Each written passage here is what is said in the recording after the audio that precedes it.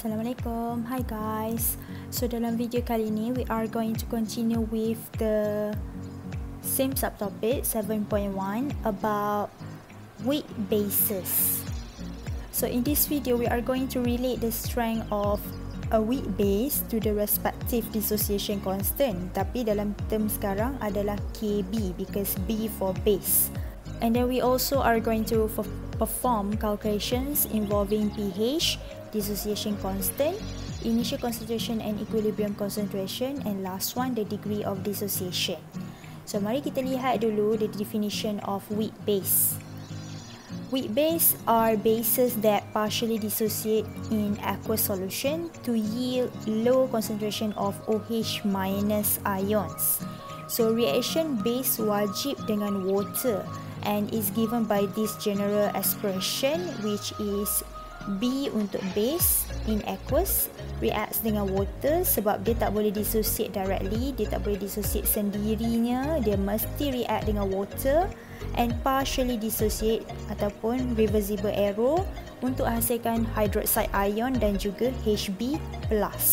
So HB plus dekat sini adalah di mana base konsep yang kita dah belajar sebelum ni daripada Bronsted Lowry base akan accept proton. So sebab tu akan ada HB plus dekat bahagian produk dan phase dia adalah aqueous. So sebab tu awak kena faham base is a proton acceptor. Acid adalah proton donor. Okay, get back to here. Now we are going to discuss about the strength of weak base. Konsep dia pun sama macam acid. Dia akan diukur based on two ways from its base dissociation constant dan juga from the percentage of ionization of the base. So untuk bahagian strength of weak base, mari kita lihat bahagian equation. So equation untuk dissociation of weak base we understand that kita akan measure by using expression KB iaitu base dissociation constant. So KB, how to write that one is expression where you have the product in the aqueous phase and you have base in aqueous phase as well. Liquid tidak akan termasuk untuk water. So, awak akan dapat this expression. Dan nilai kat sini adalah KB. Seterusnya, daripada equation ini, awak juga boleh faham dalam solution yang sama concentration, stronger base akan ionize untuk hasilkan higher concentration of hydroxide ion berbanding weaker base. So kalau higher OH minus, so higher value of Kb. Jadi base itu is strong. Jadi strong base akan ada large ionization constant berbanding dengan weaker base. So sekiranya ionization constant increase, it shows that the strength of the bases also increase. So let's see one example. Cara pertama dia boleh bagi dalam bentuk nilai KB. So you have the value for KB. So kalau KB awak tinggi maknanya strength of the base is the highest. So nilai KB yang paling tinggi adalah untuk NH3. So we are going to arrange the bases di mana NH3 nilai dia yang paling tinggi based on KB. So awak akan ada arrangement awak yang paling rendah adalah basicity untuk NO2 minus dan yang paling tinggi adalah NH3 ammonia. Cara kedua dia juga boleh beri dalam bentuk PKB. So PKB, P dekat sini bermaksud negative log. And then masuk dia PKB maknanya negative log KB. So nilai PKB akan opposite dengan nilai KB. Kalau KB tinggi, PKB rendah. So the smaller the value for PKB, so the greater the value of KB. That's why I mentioned it is opposite. So this mean more OH minus ions will be produced. So it will increase the basicity. So the relative basicity based on dua contoh kat sini, awak ada ammonia dan juga C6H5NH2. So kita boleh lihat nilai PKB untuk ammonia adalah yang paling kecil berbanding dengan C6H5NH2.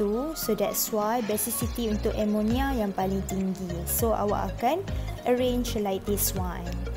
So itu cara kita tentukan strength of weak base berdasarkan base dissociation constant KB ataupun PKB. Now kita akan gunakan cara yang kedua untuk measure the strength of base iaitu bergantung kepada percentage of ionization. So percent ionization untuk weak base sama juga macam acid cuma kita ubah dekat sini adalah percentage of ionization equals to concentration weak base bahagian change over dengan concentration weak base bahagian initial darab dengan 100. So kalau nilai awak punya percentage dissociation tinggi maknanya base itu sangat strong. So let's try one example so that you can understand more about this percentage ionization. I have example 10. So you have to determine the percentage of ionization for ammonia. pH dia 11.11 dan awak ada initial concentration. So cara pertama kena tahu tulis equation. Sebab kalau awak tak tahu tulis equation awak tak akan dapat jawab soalan ni. So I'm going to write the dissociation of ammonia. Ammonia adalah weak base. So maknanya dia mesti dissociate dengan water. So dia akan ada reaction dengan water partially dissociate untuk hasilkan NH4+ dan juga OH-. So ammonia sebab dia base dia akan accept proton. Sebab tu dia jadi NH4+. Ada extra H+ kat sini. And then step kedua kita akan teruskan write the ice table. Awak boleh nampak initial concentration NH3 adalah 0.10 molar dia dah bagi dan awak akan dapat concentration at equilibrium, expression untuk mereka untuk setiap spesies dan seterusnya kita akan continue untuk calculate percentage of ionization. Percentage of ionization awak kena ada concentration value untuk change dan juga initial. This one. So macam mana kita nak dapat concentration untuk change? Mesti calculate dulu based on pH. So pH yang kita ada adalah 11.11. So kita boleh relate sekarang ammonia adalah base sebab tu kita kena gunakan POH. So I'm going to use POH equals to 14 minus pH. Value pH saya masukkan saya akan dapat nilai POH. And daripada POH barulah saya dapatkan nilai untuk concentration untuk OH minus. So I'm going to put the value and then anti-log the value, you will have concentration of OH minus is 1.29 exponent negative 3 molar. So daripada sini kita dah dapat value OH iaitu at equilibrium. And then seterusnya kalau saya nak dapatkan nilai untuk change kat sini, dia sama sahaja dengan nilai concentration OH. So maknanya saya just terus masukkan cuma tak perlu ambil negative sign So I'm going to put the value into the formula dan saya akan dapat percentage of ionization is 1.29%. So ini final answer. So soalan ni very easy cuma awak kena tahu konsep untuk jawab. Seterusnya, setelah kita dah tahu tentang how to calculate the percentage of ionization, mari kita masuk bahagian pH calculation untuk weak base. Untuk tentukan pH for weak base, kita kena cari dulu concentration OH minus. So OH minus akan ada certain time once dia reach point of equilibrium, concentration dia akan remain constant throughout the reaction.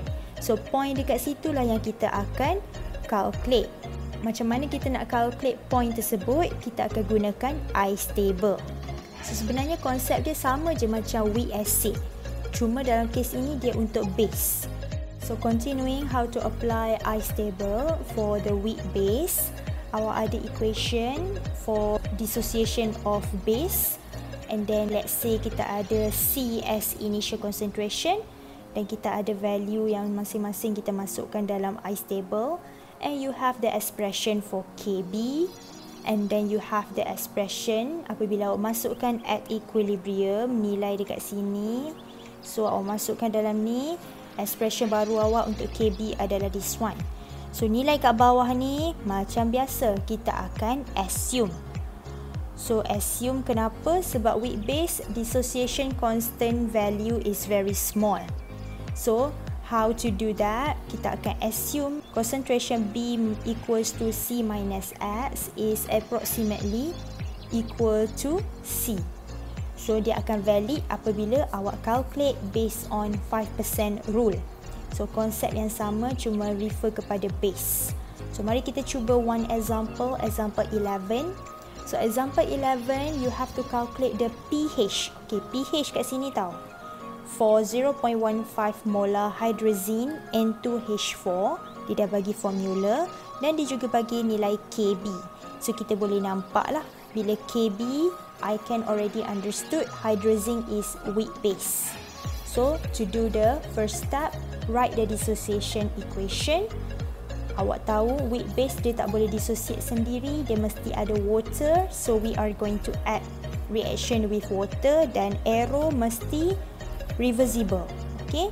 And then you got the formula di mana N2H4 dia akan accept extra proton untuk jadi N2H5+. And the step kedua, construct the ice table, pastikan equation awak balance and then masukkan semua nilai. Awak ada 0.15 here for the initial concentration dekat bahagian sini. So I'm going to put all those value untuk water tak ada sebab constant for product zero. And then untuk change dan juga equilibrium expression for the concentration. So settle for the ice table, kita akan masukkan nilai dalam expression KB. So KB kita berdasarkan concentration product over concentration reactant. And then masukkan expression at equilibrium. Semua ni yang dekat sini masukkan dalam expression ni. So awak akan dapat this expression dekat bawah ni kita akan assume. So step 4, calculate for x. Tulis dulu perkataan assume x is very small. 0.15 minus x approximately equals to 0.15. So bila saya masukkan dalam expression KB saya yang bawah ni akan tak adalah minus x. So I'm going to determine the value for my x by inserting the value for KB as well. And then your x value will be 5.05 exponent negative 4. So mari kita lihat sama ada this x value is valid or not. We are going to check based on 5% rule. So, check the value for X, masukkan nilai X dan juga concentration initial. Awak akan dapat X equals to 0.34%. So, kita boleh lihat kat sini, the value for X is smaller than 5%. So, our assumption is valid. So, keep it as it is. Let's continue with the last step. You have to calculate the pH. So, pH apa yang kita ada kat sini adalah nilai untuk concentration OH kat sini. So kita tak ada lagi pH. So how to do this? Determine dulu the pOH. So I have the value for concentration OH minus and then I'm going to determine the pOH. Put the value you will have 3.30. And then daripada sini, saya akan masukkan dalam formula pH equals to 14 minus POH. You will have the value for pH is 10.70. So, dapat jawapan final. So, let's try last example. Example 12. The percentage of ionization for ammonia already given. This is it. Now, it asks you to calculate the value for Kb. So first thing first, write the equation first. So this is the equation where ammonia is the weak base. It needs to react with water, partially dissociate, hasilkan NH4 plus plus OH minus. Ia akan accept proton dan hasilkan hydroxide ion. And then masukkan dalam ice table, awak ada value for 0.01 molar for the concentration of NH3 dan concentration initial untuk produk zero and then masukkan the rest of them complete the ice table. Untuk tentukan percentage of ionization kita ada formula iaitu concentration ammonia change over concentration ammonia at initial darab dengan 100% so at initial kita ada 0.01 ini value dia this one. And then untuk percentage of finalization kita ada 4.2. So kita perlu cari nilai X sekarang. So awak akan dapat nilai X adalah 4.2 eksponen negatif 4. So dapat nilai X, awak akan masukkan dekat bahagian equilibrium concentration. And then kita akan tulis expression KB sebab dia minta kita calculate KB. So KB equals to concentration product over reactant. And then masukkan sahaja value awak akan dapat nilai KB is 1.84 exponent negative 5. So this is your final answer. So kita dah siap tentang konsep weak acid dan juga weak base. Dan kita faham trik dia kita nak lihat we have to see whether the value for KA and KB is given or not. Kalau dia ada bagi value KA atau KB maknanya dia adalah weak acid ataupun weak base. For your information, KA dan KB is related. So how to do the relationship? Let's consider one example. I have acid-base conjugate pair between ammonium ion NH4+ dan juga ammonia. So ammonia adalah base dan ammonium ion adalah conjugate acid. Okay, so the dissociation of both species kalau kita react dengan water untuk ammonium ion dia akan hasilkan back ammonia dan juga H+. Sebab tu dia jadi conjugate acid. So bila dia conjugate acid kita akan tulis expression untuk Ka. So Ka equals to product over reactant.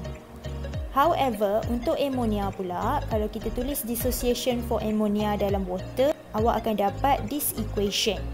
So, ammonia dia bertindak sebagai base dan accept proton untuk hasilkan NH4+. So, expression dia akan jadi KB. So, KB equals to product over reactant. So, kalau awak lihat, expression antara dua ni lebih kurang sama je uh, dia ada spesies yang sama je. Cuma yang berbeza adalah between OH dengan H kat sini. Sebab acid dengan base. Saya akan relate dengan multiplication between these two expression. Awak akan letak multiplication dia. So ini kita akan buang.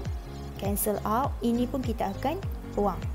So yang tinggal adalah H plus dengan OH minus. So concentration ini akan darab bersama. So kalau perasan expression ni sama dengan je. formula KW. Dan nilai KW kita dah belajar dalam video sebelum ni 1.0 exponent negative 14. So we can relate the final conclusion that KW equals to KA times KB. Daripada this expression, kita akan put the negative log on both side untuk dapatkan new expression. So saya akan letak both side negative log. Negative log bermasuk P. Sebab tu saya gantikan sebagai P untuk each of them dan darab kat sini dia jadi plus. Okay. And then we know that PKW equals to 14. So we got the new expression which is PKA plus PKB equals to 14. So ini adalah relationship between KA dan KB.